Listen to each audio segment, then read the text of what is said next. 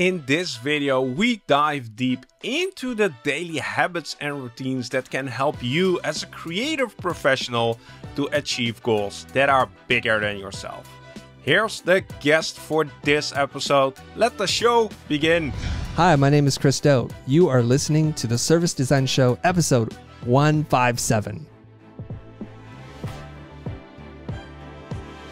Hi, my name is Marc Fonteijn and welcome back to the Service Design Show. On this show, we explore what's beneath the surface of service design.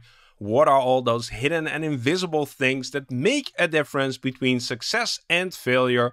All to help you design great services that have a positive impact on people, business, and our planet. Our guest in this episode is on a mission to teach 1 billion people how to make a living doing what they love. He's the founder of The Futur, a must YouTube channel and podcast for any service designer out there. And he's also becoming a recurring guest on the show. Yes, I'm talking about no one less than Chris Do.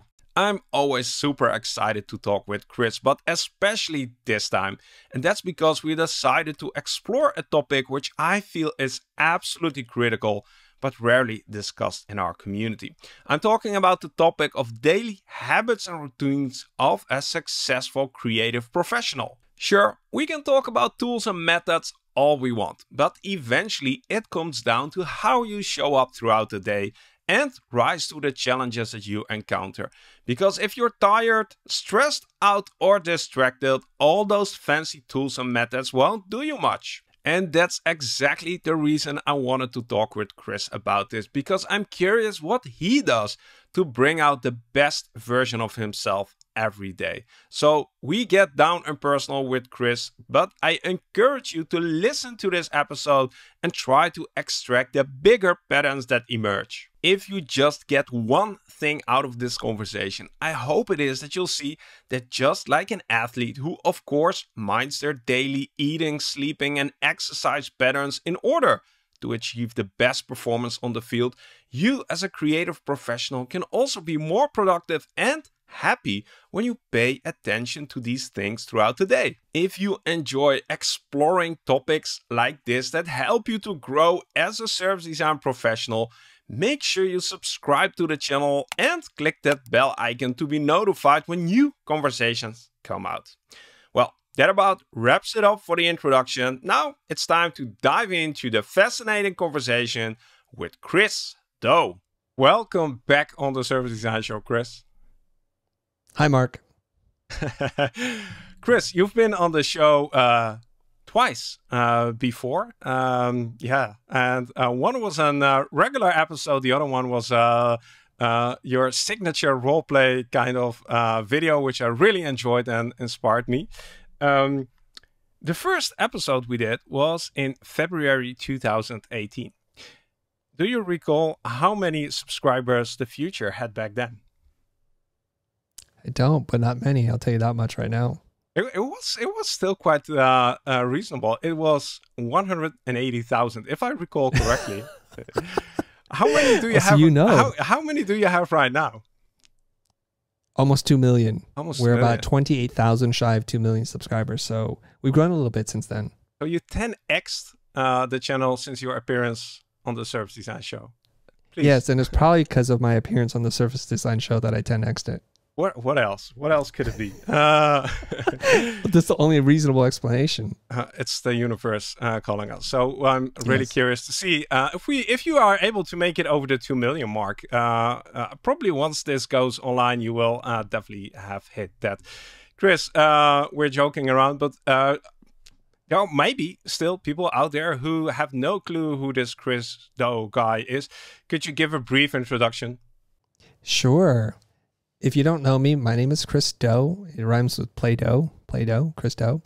I'm a loud introvert. I'm a recovering graphic designer, middle child, and a serial entrepreneur. And my my journey into professional service design started in making commercials and music videos for really large Madison Avenue advertising agencies in America.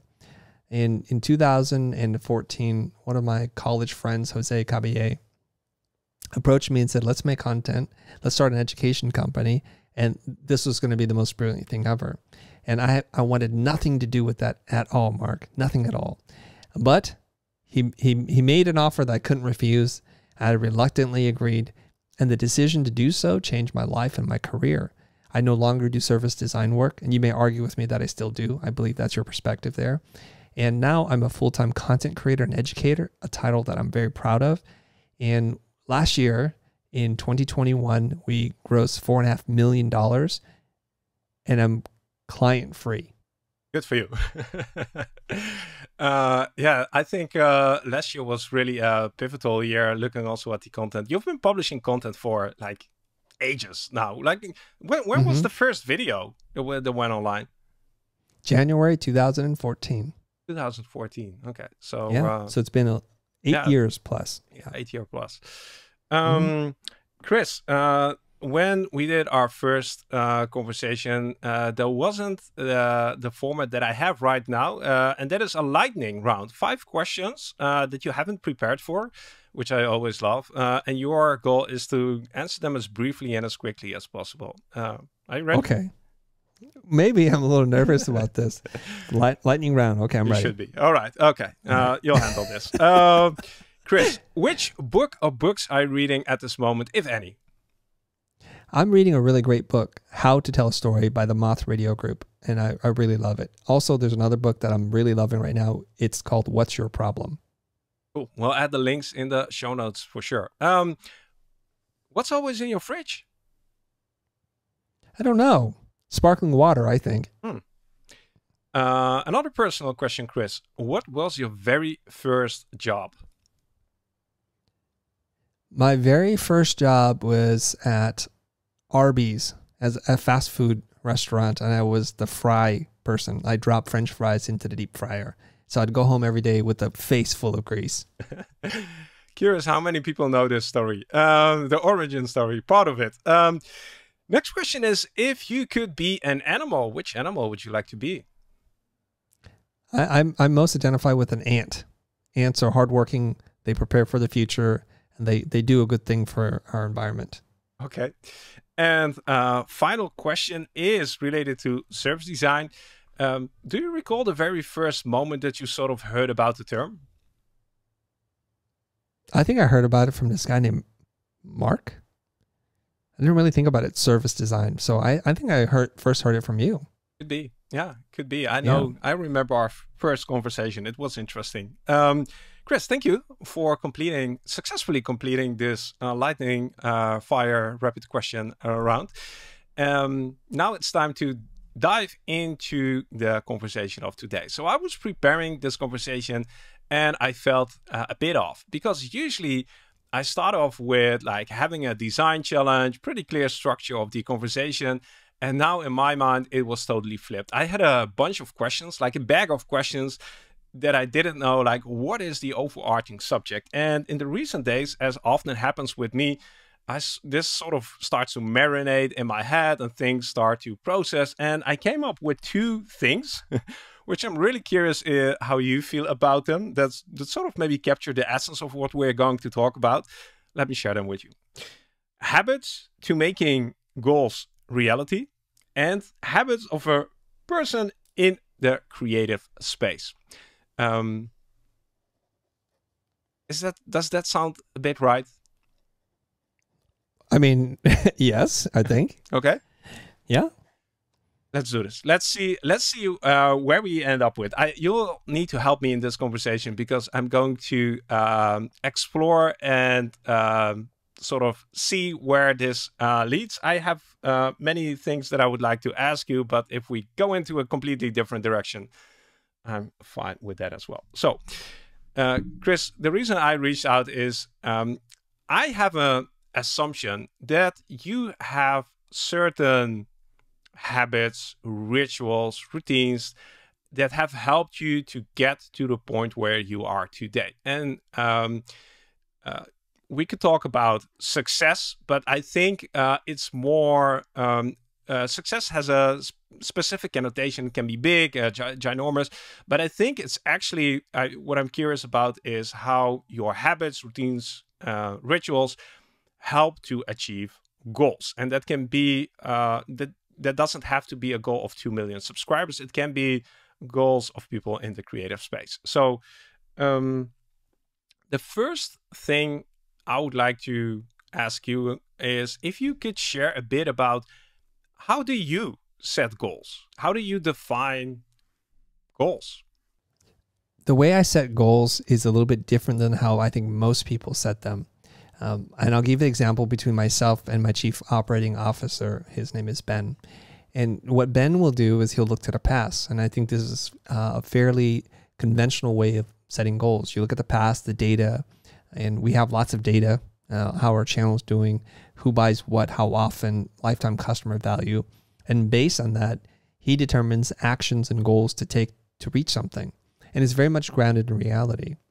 And I think that's fine for lots of people. But the way I do things is I sit around and I just think about where I'd like my life to be in a given amount of time one, three, five, ten years from now. And, and then I just set a goal. And oftentimes it's based on no data and it's fairly unrealistic. And when I set this goal and I tell the team, I want to do $7 million of revenue this year, they look at me like, Are you crazy? We just hit four and a half. We're growing. Where'd you get this number seven from? And my answer is because I believe we can do it. And the reason why I point out the differences between these two models is if Ben looked at the numbers and our growth pattern, he might say, let's go for five and a half million, which is a million dollars of additional revenue. And it's based on some numbers, some projections, some financial modeling.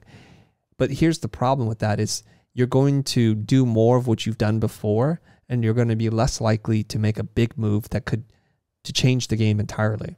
So when I say $7 million, I admit it's subjective and it's completely arbitrary. I just made up a number because I like the number seven.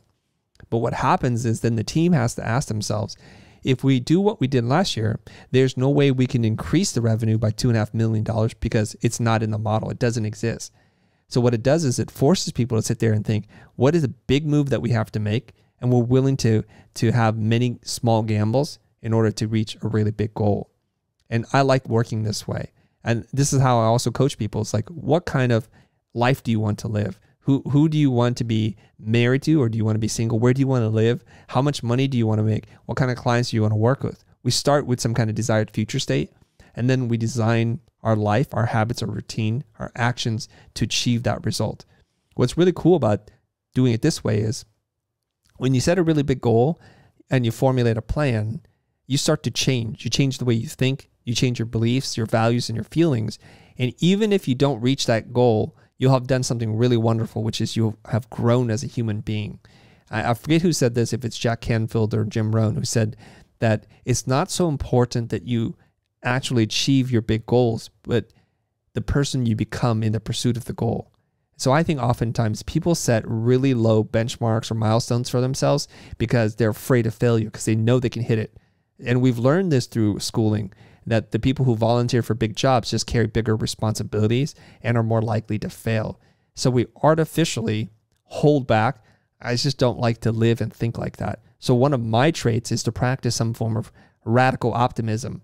Optimism is trying to find the good in everything, but radical optimism to me is to try to find things that are good beyond the things that you can actually see.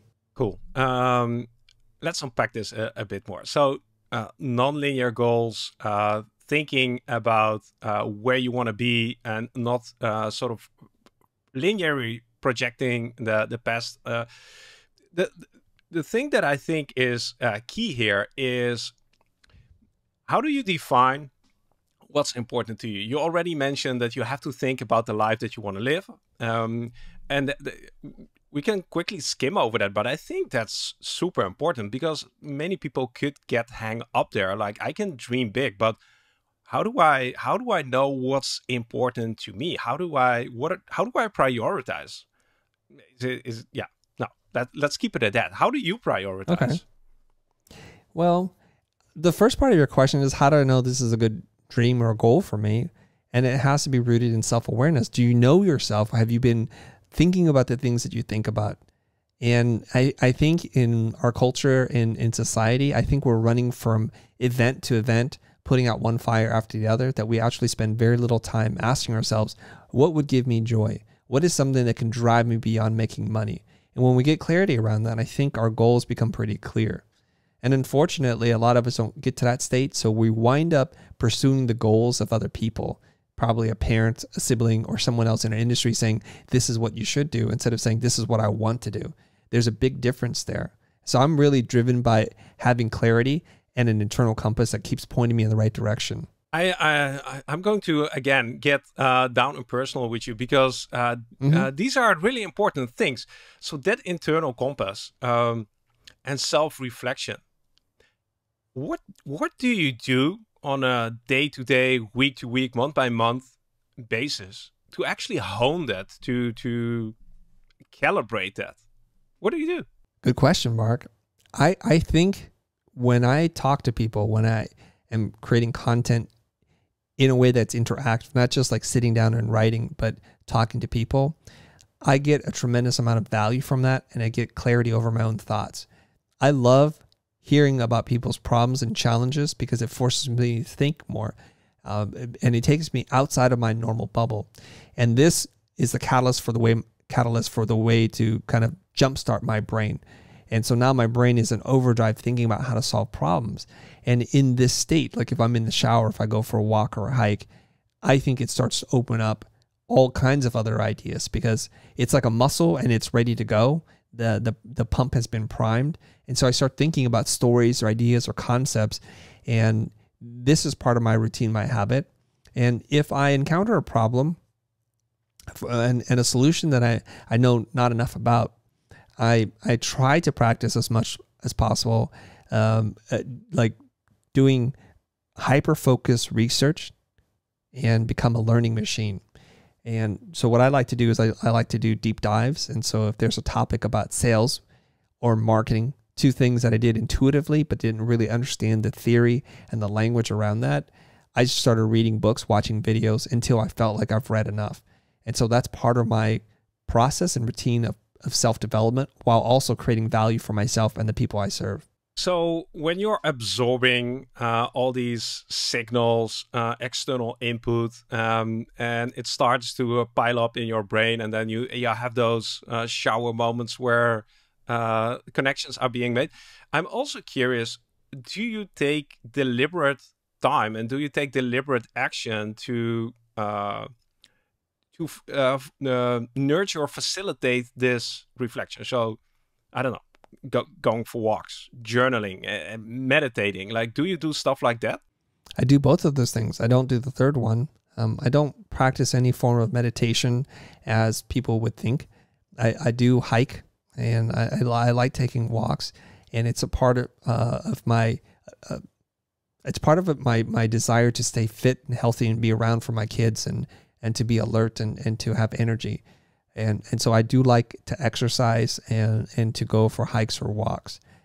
But the thing that, that makes my brain fertile for coming up with ideas is to reach a saturation point of understanding. I find that when I try to come up with a solution, when I don't have enough understanding about the problem or what other people who've, who've come up with, who've researched and thought about on a particular topic or subject, then the idea well is quite empty. And so my first step is to immerse myself in learning and understanding and absorb the information until I reach saturation point. When I reach saturation point, and I know it's usually because my mind is tired at that point and I can't remember no more, I close the book, I stop watching the video, and I just move on to some other activity. And I need to have my archival brain, the smarter the two brain, there's the active learning brain and the archival brain to start to think and connect the dots. And so it's doing something that I'm not even in control of. It's connecting stories, childhood experiences, and what I just learned, and it's making sense of it all. And what I get out of the other end is usually the the rough draft of a first idea, which is a condensed version of what I've learned, processed in a way that I think is simple to explain and hopefully easy to understand. That's super interesting how that works. I recognize this process a lot, and I know that for myself, I I actually have to get away from the topic to uh, create space in order to give my brain the time and and I I don't know uh, other other context to actually process this stuff. Um, I want to uh, quickly cycle back to self awareness because that's where we started uh, before we ended up here. Uh, and we started talking about self awareness as something that helps you to guide the life that you want to live. Um, I'm curious if you can say uh, a bit more about that. Like, how do you uh, do you feel uh, like self awareness is already that saturated for you that uh, okay, I know who Chris Do is, I know what my goals are, uh, like uh, check check, and I just can live by those values. And if so, how did you get there? And if not, like what do you do to to keep expanding that self awareness? Um, if you practice critical thinking, and we try to understand what critical thinking is it means that you challenge your own thoughts. And I do this on a regular basis. And sometimes I can only see the problem from a very specific angle. Uh, I think Blair Enns had said this that all strategy is autobiographical, which means that basically we prescribe to other people a strategy based on what we believe works. Like I would not tell you to do something that I have yet not done or or actually believe the opposite in, right? So there's there's some form of bias there. So I'm going to do more of what has worked for me. And that's exactly the problem is we get confirmation bias and we start to lock into our positions. And I love this expression. I think it's something like um, hold strong opinions weakly or loosely. So I have strong opinions and beliefs, high sense of self awareness, but I'm also constantly looking at my own ideas and asking, is there evidence for this to be true? What part of this is subjective and what part of this is objective? and what is my personal confidence level in holding this idea. I'll give you an example in a second, right? And so oftentimes what I'll do is I'll talk to someone and I'll say, you know, it's my belief based on no opinion, data, or research that this is true. I say this to remind myself as much as to allow myself an out in case I want to change my mind. So in our culture, and I, I would just say like Western culture in particular, it's very important for you to be consistent with yourself. It's one of the most strongest uh, desires is to be consistent. And so when we say an opinion that is not well thought out, that we haven't reflected on, even though we don't believe it to be true, when someone challenges, what do we do? We dig into our position and we're not willing to let it go. And we've all been guilty of this because sometimes someone will say, Well, why'd you do that? Instead of saying, You know what? it was a really bad idea. I don't know why. It was foolish and I regret making that decision. Instead, what we do is we defend that decision and say, well, all the indicators led to this point and who could predict the future. And so you start to defend and you dig in. So for me, critical thinking is I need to recognize the things that I really believe, but always leave the door open for a new thought to enter that might be a superior way of looking at the problem. And when I have a loosely formed idea, I also want to label it in my mind so I don't fool myself into thinking this is something I've thought about for a long time and it's truly part of who I am. So when a superior idea is presented to me, I just quickly detach from the old idea and I grab the new idea. And for me, that helps with the critical thinking part and knowing who I am, that self awareness. What I like about how you explain this is that it's an ongoing process. So, um, that critical thinking and that self-awareness I was trying to get at is uh, happening on all the time in conversations that you have with other people because of the fact that you've adopted an attitude of learning, being open, being ready to switch beliefs. So every conversation that you have is an opportunity to self-reflect and adjust course that a good summary? Absolutely. Yeah. Yeah, yeah. And I like to invite people to debate, not because I want to prove that I'm right or superior, but because I need a challenge. I was having a conversation with my wife yesterday. We went for a really long drive. And I was saying, sometimes because I'm so optimistic, I write something and I cannot see the counter argument to it, right? I'm blinded. It's in my blind spot because I'm so optimistic. I think, well, this can only help people. This is only going to improve their lives. What happens with the internet, as you know, Marc, is they think dark thoughts. They think the worst case scenario. And sometimes, even in what I believe is a relatively innocent, innocuous, positive thing that I'm saying, they will be triggered by it and they'll say something the opposite. And it's quite interesting for me. And my wife thinks I have some kind of savior syndrome, like I'm a martyr and I always want to save everybody. It's not true. Maybe. I'm not sure. Um, but what is what I'm doing is I need to see the problem from a different point of view so I can make sure I'm thinking clearly. So I actually really do enjoy, believe it or not, trolls who are so vitriolic in their anti response to what it is I'm saying that I get a perspective from the other side. Um, I was talking to author Douglas Davis, who wrote the book Creative Strategies in the Business of Design. And in the opening couple chapters, he talked about how his grandfather, he's an African American, uh, spent time in racist groups. And he was puzzled why his grandfather would do that. And he said, You need to spend time with people who don't believe what you believe so that you can you can see how they think. You want to think how they think so that you know how to behave and you know how to potentially overcome that or at least adapt or modify. So it's like you have to spend some time in the enemy's camp to learn how they think if you want to come up with a better strategy. Yeah, makes a lot of sense. Um, and uh, I think you have no shortage of fans and trolls either. they come together. They come together uh, and in hordes. Um, so, uh, Chris, I want to transition our conversation uh, a bit away from goals because um, um, there's more to say about that. But um, like goals without execution or dreams without execution are, are, just dreams. I don't know what the saying is, but what I want to get to is um, achieving your goals um, on a day to day basis. You have to do stuff.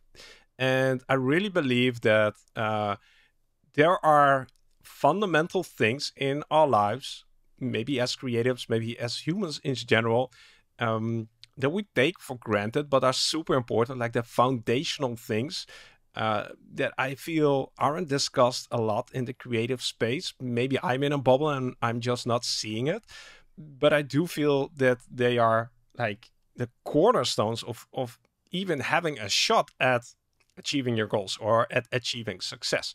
So, this is a, a preface to my question. Chris, could you describe your morning routine to us? What do you do when you get up? Sure. I, I'm a very light sleeper.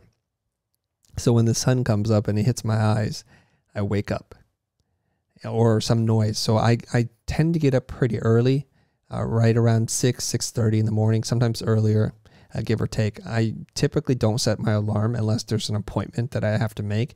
I just naturally just wake up. And usually I wake up before my alarm. And the first thing that I do is because I'm really groggy, I'm a little bit tired because I do work a pretty long day, is the way I get up is I need to to jumpstart my brain. And the way that I do that is I start going through the comments and the DMs that I'm getting on social media. So I have a pretty specific routine. I'll, I'll jump on Twitter, answer some questions. I'll jump on LinkedIn to see if there's anything burning or pressing, and then I'll go to Instagram and then YouTube. And by that time that I'm done, my, my brain is fully awake and I'm now compelled to go do something. It's in those moments too. Oh, sorry. Go ahead. Yeah, let me uh, let me interrupt you uh, for a second. Like, just to understand this, you get up, you're groggy, you grab your phone, and you start start checking social media. Yes. I mean, uh, uh let me let me just correct myself here. I turn to see if my wife is still in bed, if she's still sleeping, and it, and oftentimes she's good, she's already doing something, or I'll say good morning to her, and that, and then I'll be on the on the phone. The reason why I'm on the phone is because if I don't get on the phone, I tend not want to wake up. I just lay there. I'm like, I'm I'm sleeping. I'm gonna go back to sleep, right? But once my brain gets going, it's very hard for me to turn it off. So it's just my routine. What happens after that? So how long? How much time do mm-hmm. you spend checking social media? It could be anywhere from 30 minutes to an hour and a half it's a lot of messages to get through. All right. Yeah. When do you do breakfast? Okay. When do you do coffee? What do you do? What else do you do mm. in the morning? Yeah. So once once I'm my brain is on, I'm usually thinking about two or three things that somebody has said, and usually they're they're in emotional state and they have me in emotional state, and I like that because I am a much better thinker under duress, under some kind of emotional kind of energy when I write when I'm bored, it just doesn't usually sound very good. It sounds very, very robotic. And so typically I'll brush my teeth, I'll shower, and in that moment, the brain, the the active, I'm sorry, the archival learning brain or the archival brain is working on things I already forgot about. And usually there it's I I'm like, "Oh, here's how you can answer that problem. Here's a framework or here's an idea for a post an article that I think I want to write today." Um, I am no longer eating breakfast. I'm trying to collapse down my eating window to be as small as possible. So I'm trying to eat as late in the day as possible. So it's 2 to 3 p.m., which I'm usually eating. And my last meal typically ends around 8 p.m. I'm, I'm trying to work towards eating one meal a day. I'm not there yet. I got some ways to go, but I'm just collapsing that down. Um, and I find that my body has adjusted pretty quickly. Like it seems like it's an impossible thing. But if you approach any goal, any anything that you have, and you take measured steps towards it, like inch by inch, you will get there. So first it began with I'm not gonna eat breakfast anymore, and then I'll eat a late lunch. And that lunch just keeps collapsing down until it's now two, sometimes three or four o'clock. And I don't feel the hunger pains at all. And contrary to popular belief, I can even exercise in the morning without eating anything and not feel light lightheaded. I, I believe it's just an adjustment period. So I am then typically on my computer, uh, reading a few things, and I start to jot down any diagrams or loose ideas to make sure that I memorialize them because you know this whenever you have an idea, if you go do something else, you'll lose that idea. It's not put into long term memory yet this goes against popular belief that the last thing you should do in the morning is check your phone or check social media. Uh, mm-hmm. What? Yeah, you already mentioned that you need it to activate your brain. Uh, how do you? Uh, uh do you? And is it important to you to? Um, it, it it's it could be very reactive. So you read a message and your day gets or your morning gets dictated by a comment you read from a troll rather than working on that 7 million goal and thinking of creative ways how to get there. Do you encounter that that issue, that challenge? Is it an issue for you? No, I actually think it's a benefit, mm. and I think the the general sentiment about uh, social media is addictive. It'll rot your brain, and it's not a good thing for you to do. Probably is true for a lot of people uh, especially if you're emotionally vulnerable, if you're triggered and you've had traumatic experiences in the past, you don't respond well to criticism. I would say social media can be a very toxic place. But I really believe in this, in that I'm a, a person with a solution looking for a problem. So I've be, I've trained my mind to look for problems, and the problems tend to come from people who disagree with you. If everybody agreed, it's like, well, there's no problem, and so I have nothing to do. But when I hear about a problem, and I'll give you an example of one right now. Okay. Um, I will give advice, say, the, the best way for you to move forward as a creative professional and, and, and get paid what you're worth is to raise your prices. And I think pretty innocent. I'm a champion for creative people. And then I get pushback from other creative people. I'm like, wait, wait, are you arguing against your own best interest here? And they're saying what you're saying comes from a very privileged place. That sure, you may have done X, Y, and Z, but the the advice that you're giving works for a very small percentage of the people because you just don't understand me. And they don't say it as nicely as that. But that's how I read it. I try to strip away the emotion and the personal attacks. I just look at it objectively as data points. So here's the benefit of this. I'm not getting pulled into an emotional cesspool, but what I'm going through right now is for everybody who believes this, I'm not going to win more people I'm not going to make a better product or teach better by just having people who totally agree with me. So it got me to think, why is this person stuck? What is going on in their life? And I need to understand them a little bit better. And then this spawns new content ideas. And so here's the thing I haven't made this video yet, Marc, but I plan to. I'm going to take the opposite approach. I'm going to say, let's try to charge as little as possible because when you charge less, you have less buyer resistance and friction. Therefore, you'll be able to service more clients and have a, a greater portfolio. Let's try the opposite inversion thinking. Let's try the opposite approach and see where we net out. And it gave me a whole bunch of new ideas. And when I make a strong argument for charging less, I think people are going to freak out and say, this is fire content because it sounds so counterintuitive to charge less. But I want to reveal the absurdity of that thought so I can put this sucker to bed.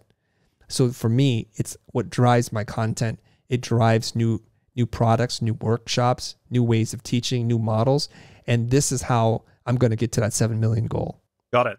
Uh, you see the difference there, yeah, right? absolutely. Because again, it's looking for that non-linearity and looking for ways where you can break with the uh, uh existing path or find new opportunities uh, in charted territory. And uh, what you're apparently very good at is not taking it personal. Like you're just seeing a comment as a comment uh, I think you have tons of videos where it's uh, your work. You you're not your work, and I think you excel at that, right? Uh, this is a great example of that. Um, I want to get to. Can I, can I yeah, add something yeah, to that, sure, Marc, before you move on? Yeah. I, I want to say something. The reason why I'm not so affected by this is because I have a strong sense of self. I know what my intrinsic worth and value is to the world, and I'm not looking for external validation. Like, if I make a design that's really bad, I know it's bad, and I'm going to course correct it until it's good.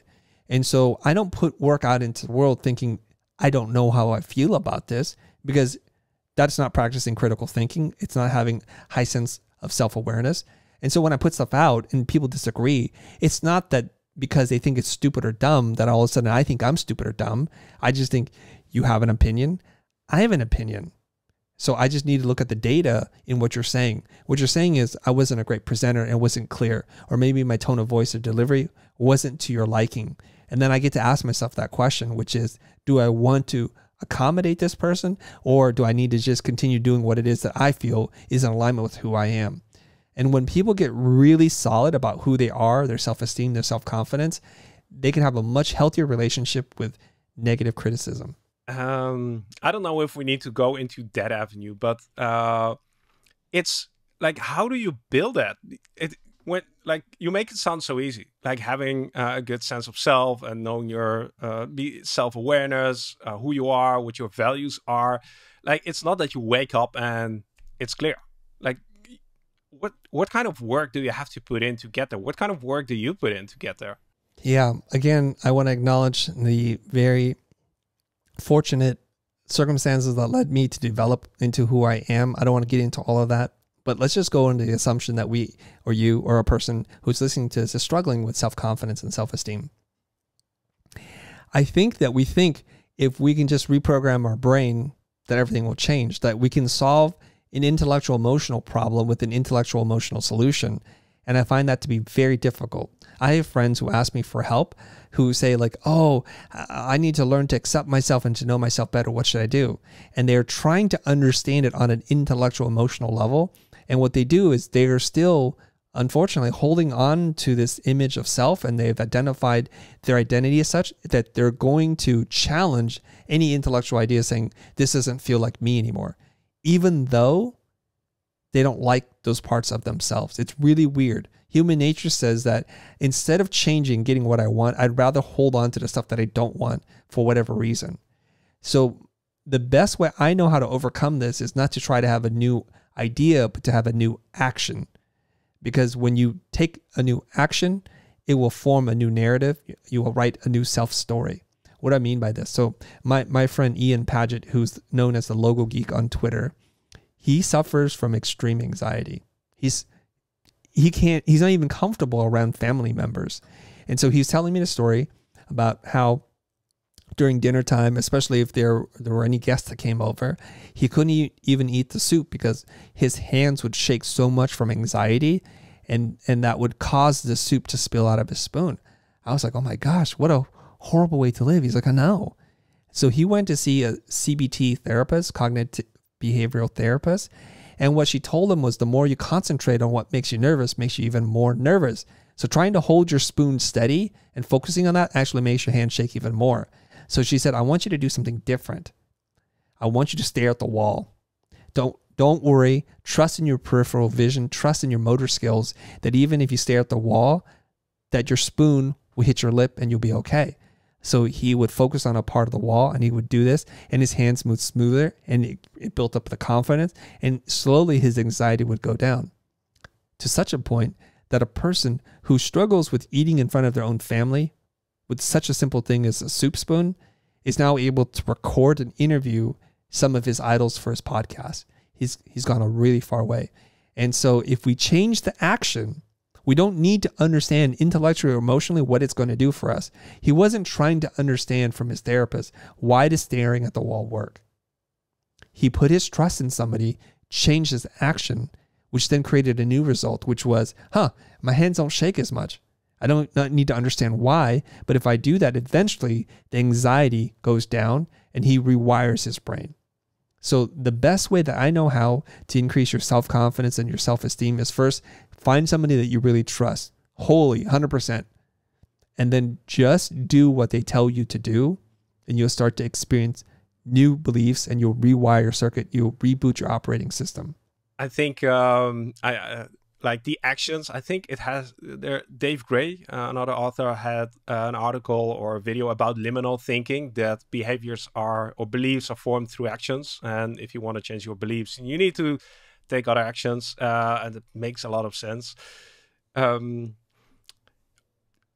uh, let's cycle back to um, the routine part and the habits part so uh, your morning looks uh, like you get up, you look for stimuli that changes your thinking. Uh, you need to get your brain uh, firing on all cylinders, and then um, uh, you can you can start the day. Now let's fast forward, and we'll get to the middle part later. But let's fast forward to the end of the day. When do you consider you your day, work day, to be done? Great question. Um, I'm in an awesome place in my business, my life that I, I have very few deadlines that are not set by myself. Very few. And so I've learned to listen to my body. And so when I feel I'm tired, I just shut down the computer and just go to sleep. And I feel like I don't have to carry guilt with me that more can be done. I just know I put in a really solid day's worth of work and I'm tired. And I also realize the law of diminishing returns. When you're working through that uh, fatigue fog, you're making really poor decisions and you're working much slower. You're working in a suboptimal way. What I like to do is like, okay, I'm feeling a little tired. I'm done. I will shut my computer down. I'll go get ready for bed. And I have a whole nighttime skin routine thing, so I don't want to get into that, but it's it's more than one step. So I'm like, I need to build that into my timeline here. And then I slip into bed. Also, guess what? Checking my social channels again. And it's quite strange here because in the morning I use the social as my caffeine, as my my liquid chemical boost. And at night it's my it's my sleep aid. It's kind of weird because as I'm tired, as I'm reading, it will kind of medicate my my brain and hypnotize me so I'm like, "Oh, I'm done." Cuz if I have to concentrate when I'm tired, it makes me even more tired. So I typically will just go through a few messages, read a couple of things, and then I'll put my phone down and then I'm out like a light bulb in probably less than two minutes. Wow. Uh, again, not not what I expected. Uh, and let's zoom in uh, to the part between I close my laptop and I go to bed. Like uh, there, there, there must be something in between. Uh, most people shut down their laptop. I don't know, 4 p.m., 5 p.m., 6 p.m., 7 p.m. They have dinner, watch some TV, watch some Netflix, maybe read a book, and then maybe take a shower and then go to bed. Is it like, is it for you? Okay, I, the moment I open my laptop in the morning, uh, it stays open until I go to bed, and then it's literally like, is there anything in between? Between going there to is, but you you jump to the end, right? I know. I don't want So people to think be- I'm, so I'm Mr. Terminator here. yeah. So here's the thing: there's there's lunch and there's dinner. Uh, at the beginning of the pandemic, I uh, because I'm at home, there's very little social interaction, very few disruptions. Uh, my wife will cook something or she'll order some food and she'll say, "Hey, lunch is here." I stop working. I go down. I have a meal. It doesn't take that long to eat 25, 30 minutes, whatever. We might have a conversation, we might not. And then I'm right back on the machine. And I did this for probably the first six months of the pandemic. And then I realized something is I'm working in a hyper efficient way with very few distractions. And I was taking very few and short breaks that I was completely wiped out. I couldn't keep my eyes open. My body started to hurt. I couldn't figure it out. Well, anybody listening to this will, will become aware, obviously, of what the problem was. So what I do now is I'll take probably an hour, an hour and a half for lunch, and probably two, two and a half hours for dinner. And I give my, myself permission to do whatever it is I want.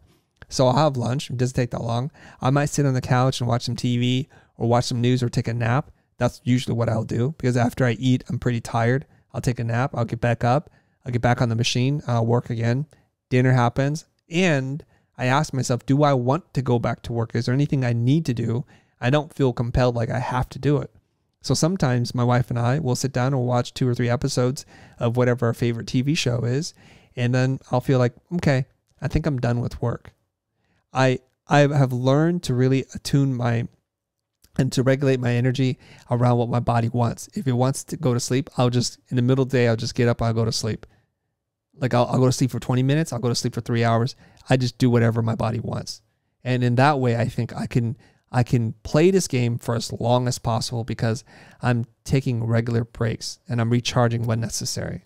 And when you say regular breaks, like do you have more breaks throughout the day or is it just lunch and dinner or have you like how how's your rhythm? What's your rhythm there? Yeah, I will take regular breaks. For example, I, I think I can focus and do highly focused work for about 90 minutes. And after that, I know I need to stop. It's not going to work. Uh, I'm just pushing through something, right? And so I, I make it a point like my, my kids are home, uh, my wife is here. And so I'll just get up and go check out what they're doing. Maybe I'll water the plants or I'll, I'll do something very small, maybe put away a stack of books or something, and, and I'll do that. Somewhere in there in that day, not all days, because I'm not always perfect about this, but I'll go my gym is like literally behind me here and I have a lot of equipment. So I'll just go, I'll do pull ups, I'll, I'll, do bicep curls, I'll do something physical just to get my blood pumping and to clear my mind. Uh, I might also just take a social media break where I'm going to step away now. I'm going to have some fun. I'm going to catch up on the post that I made that morning and I'll, I'll read some comments and respond, something like that. The way you describe your day could sound um, a bit unstructured, bit uh, improvised. Um, I'm curious if you could share your thoughts about productivity. Because you mentioned that at the end of the day, you, you have a sense of accomplishment. You feel when your body is tired, you're done, and you don't uh, sort of uh, uh, uh, have a struggle with yourself that you could have done more. So you have a sense of accomplishment. But um, going back to the question, what is your take on productivity and being productive? How do you see that? Yeah, I, I think this is going to sound strange, and, and I think when you observe it the way you have, it does sound pretty unstructured, probably because it is, because there's a rhythm and a flow, and I I have, for the most part, uh, control and autonomy, and I'm self-directed, so I know what needs to get done. And if you look at the output that I I do in a day, it will probably be more than what people do in a week. I, I, I try to say that objectively and humbly, but I'm hyper efficient and productive when I'm working. I have systems organized where my files are. I know my rhythm. So I'm not going to sit here and try to write something when I know I'm not going to be able to write something. Conversely, if somebody's calling me to do something else, I'm in the zone for writing. I just say, no, I need to finish this and I will get it out. And so I'll, I'll give you an example. I was struggling with understanding why people aren't able to make the kind of money they make. I know it's a very strange struggle for me, right? Because in my life, because of my radical optimism, the way I set goals and my uh, and having high sense self esteem, self awareness, I'm able to achieve whatever it is I set my mind to. So I'm I'm like, why can't other people do this? And and so I decide to write a, a multi threaded tweet about what somebody needs to do to scale from zero to building a business that they can own and run as an independent business owner. And I wrote this 70 step process in I think less than 10 minutes on my phone in a very archaic way. And I published it. And that has become one of my more high performing tweets in the last, I would say, about three or four months. And it it caused a stir because everybody's like, wow, this is the most thorough, well thought out plan on how you can go from having a job to creating jobs. And so then I shared that on LinkedIn, and that becomes the foundation for a three part training session that I'm doing. So when I work for 10 minutes, and it, I, I'm not exaggerating, it took me about 10 minutes to write. And can you imagine writing a multi threaded sequence on Twitter via mobile? I had to copy, paste, and do all kinds of weird things because if I changed my mind, it would ripple through. And I did it in 10 minutes. And so the point I'm trying to make with you, Marc, is my 10 minutes might be someone's 10 hours. So, because once yeah. I, re- oh, sorry. Uh, obviously, it's not 10 minutes. It's all the years of experience that went right. into uh, that 10 minutes. That 10 minutes just actually crafting yeah, and copy pasting that stuff on Twitter. Um, and when you when you when you put this story into the perspective of uh, productivity, so how do you define then productivity for yourself? Because uh, sure, uh, 10 minutes of work can uh, lead to a lot of value. And that's because you've put in the years of work to actually get to the valuable content. Uh, so you're probably not measuring productivity in terms of time. No, I, I, I and I, I wouldn't do that for my staff and I do for myself. Productivity is measured in outcomes. It's not even um, in deliverables, right? So let's say, for example, I spent 10 minutes writing that tweet sequence, a threaded sequence on Twitter, and it got no results. I would say that was unproductive. If I spent 10 hours on it, it would be even less productive because it took 10 hours to do something that no one cared about, didn't achieve any result at all. And so when I talk to my team, and there's many videos of me talking to my team about this, I, and oftentimes I'll say, "Hey, are you guys hitting your targets?" And one person will say to me, "Chris, I worked 60 hours this week." I'm like, "You didn't answer my question. I don't care if you worked six hours, six minutes, or 60 hours. Did you achieve the result?" And another staff member would say, "You know, I I finished 14 videos this week. I'm exaggerating here just to make a point." I'm like, "What do I care if you made 14 videos this week? Did you achieve the goal?" The goal was to increase our subscribers by X number, to increase revenue by X number, and to increase watch time by X number. Did anything that you do result in that? And then they're looking around. And no one wants to answer a question because they know the problem is they're just doing work to be busy, to demonstrate that they're a good, productive employee. And I don't care. All I tell them is these are our benchmarks in terms of productivity. Like these are the results and outcomes that I want. I really don't care how you do it or how long it takes you to do. And there's good and bad to that. Meaning, if it takes you 80 hours a, week to do it because you're slow, you're still new, uh, you're inefficient with the way you think and process, it takes you eight hours. If you can do it in eight minutes, I'm not going to sit there and say, Where's your timesheet? Like, how could you do this so quickly? You just get the results that we want. That's it. So that's how I measure productivity. Got it. Uh, and uh, I have a question about this, but first I need to know one thing uh, about this specific example because I think it's interesting. So, uh, what was the outcome that you had in mind when you shared this online? Oh, uh, you're talking about the 70 step on how yeah, to scale from yeah. zero? Yes. The outcome was I'm trying to solve a problem because I'm inspired by this guy. His name is Alex Hormozi. And Alex has this very simple thing that he says I'm not here to sell you anything. I want to help you get to one to three million dollars in revenue so that I can invest in your company and grow it to a hundred million dollar company. And I, I, was thinking, wow. So here's a here's a, a, an excellent salesperson who knows how to give you something and address your objection in one shot. So you can watch his videos and he doesn't pitch. There's no call to action. There's nothing. He's just trying to teach and give value. And obviously, I'm not in that that place where I do have to sell you something. I do have to make money somehow to sustain myself, right? Alex has built a, a couple of hundred million dollar businesses, I think, at this point. So making more money is not really his primary driver in life. I was thinking, what is my version of that statement, which is, I'm not here to sell you anything. I just want to help you get to a certain point. So I thought about this.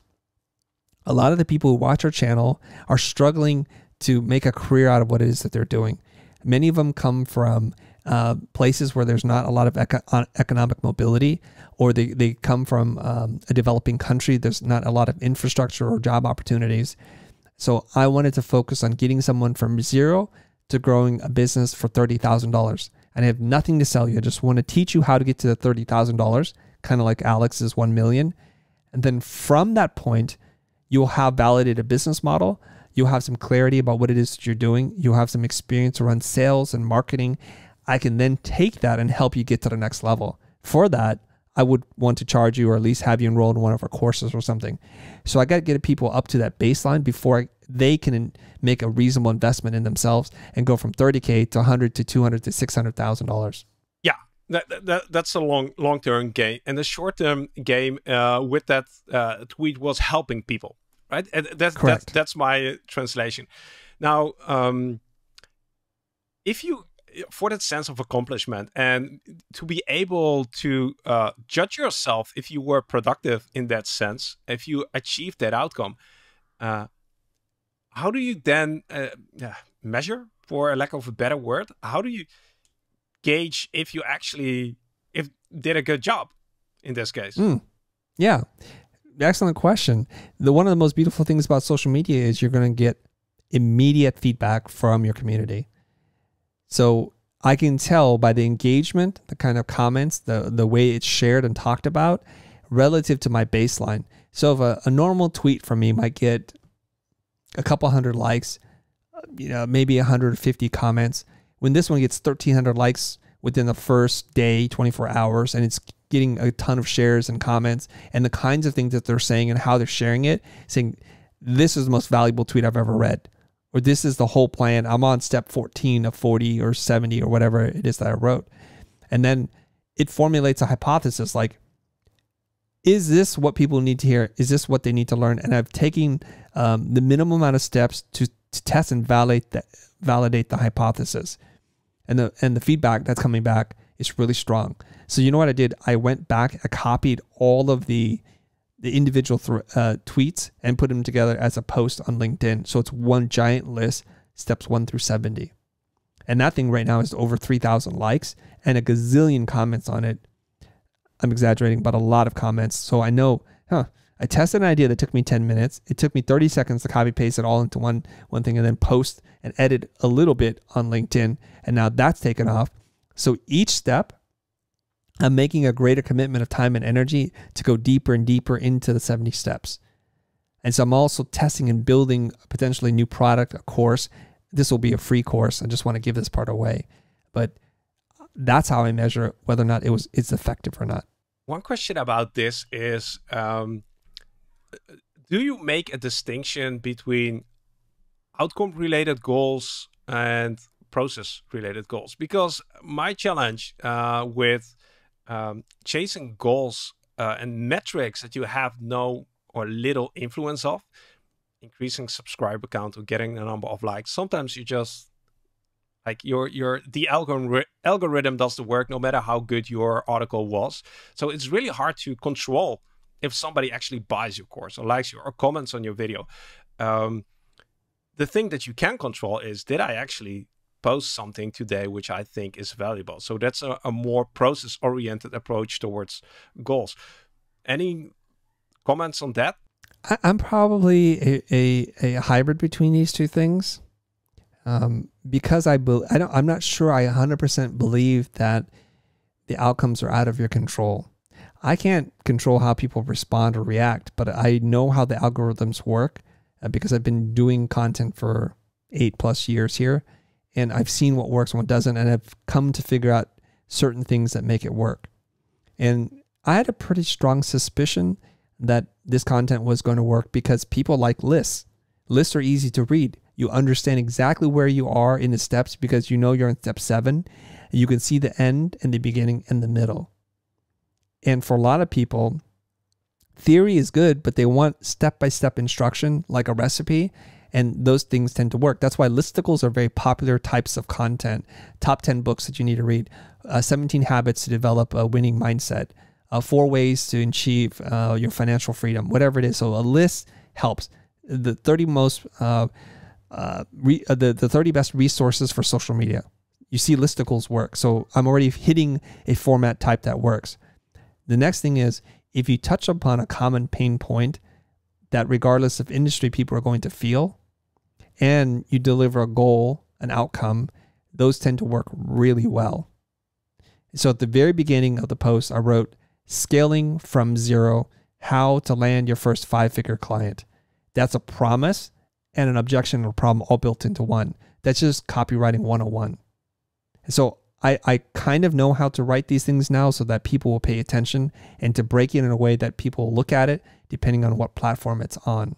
So you're at a level with this where the process is less important because you sort of mastered the craft of um, getting engagement, getting uh, people to respond to these things, and then you can focus on outcome. Like it's for me, it's like running a marathon. If you don't know what you're doing, like don't focus on the time that you're running for the first mile focus on all the other things focus on putting on your shoes and getting out there once a week and then at some point you'll start to realize okay i need to pay attention to my food because if i pay attention to my food it will impact my time so you with right. this specific example you came to a point where you know all the variables and then is, you can be pretty uh, rigid when it comes to outcomes right yes i think so yeah and yeah yeah yeah you're right Okay.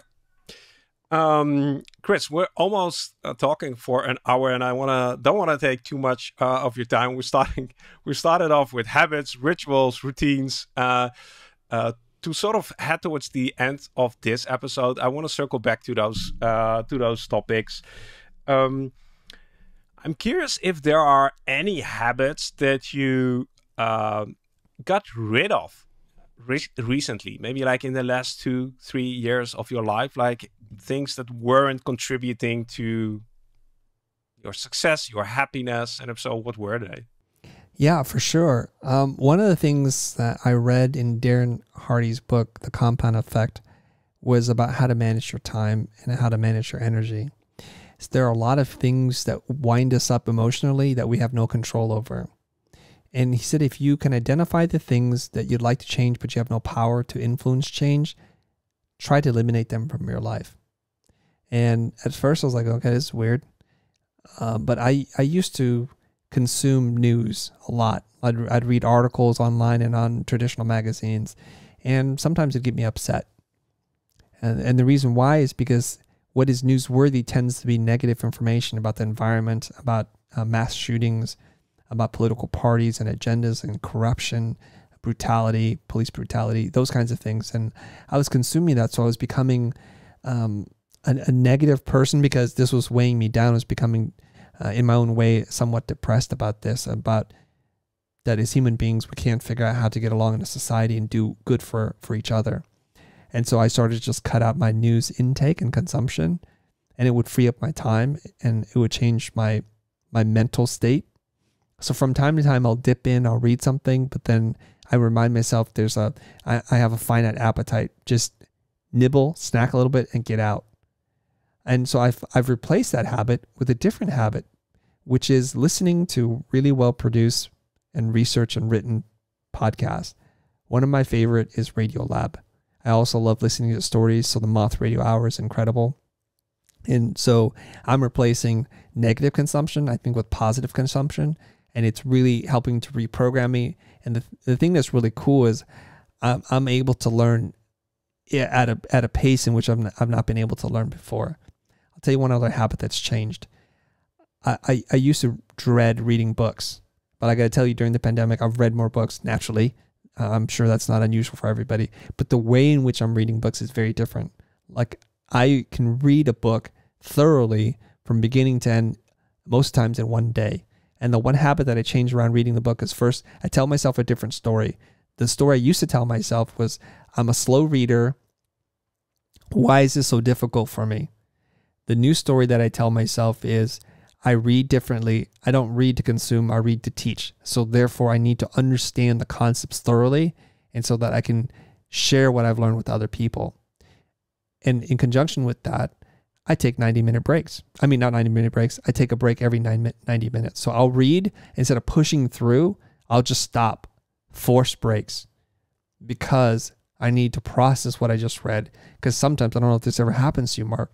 You read 35 pages and you're like, what did I just read? I don't even remember any of it because your mind was wandering. It was telling you, I'm tired. This is consuming too many calories. And so when I do this, I take short breaks, 90 minutes, I come right back to it. I'm fresh, I'm ready to go, and I'm learning as much as I can. And that's how I'm able to read.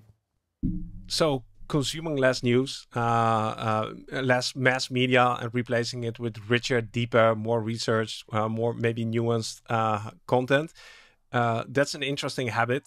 I'm also curious. Uh, you mentioned self-reflection and self-awareness uh, a few times already in this episode. Now, if you look at your current habits, the things you're doing, what do you feel is maybe the thing that's that's contributing the most to uh, your productivity throughout the day and productivity in terms of the way you describe it? And again, I'm looking for something like a habit. Well, I've learned to to invite other people into my process, the, the, my crazy world, and asking for help and being able to receive help has, has actually benefited me a lot. So I used to do everything by myself. And then I couldn't get all the stuff that I wanted to get done and it would make me feel bad. So I've hired younger designers to help me do things that take things off my plate so I can focus on the things that are more important. So I'm trying to optimize my productivity by delegating some tasks to other people, which I've held on to pretty tightly.